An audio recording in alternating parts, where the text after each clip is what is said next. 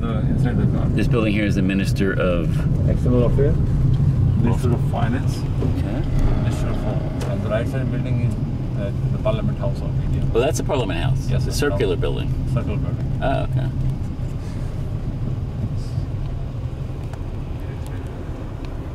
And the left side you see the our Indian President House on the Oh, center. this is the president's house right here yes, in the center. in the center. Okay. Oh, straight ahead. Yes, sir. Okay.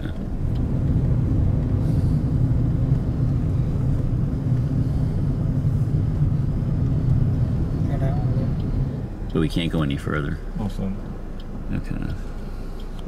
This is a high zone, so we are not to stop our car here. Right there the police will be there. Block the south block. Here there are four departments. The minister of uh, the central ministers, they are sitting here. And our prime minister, he also sitting here on north block.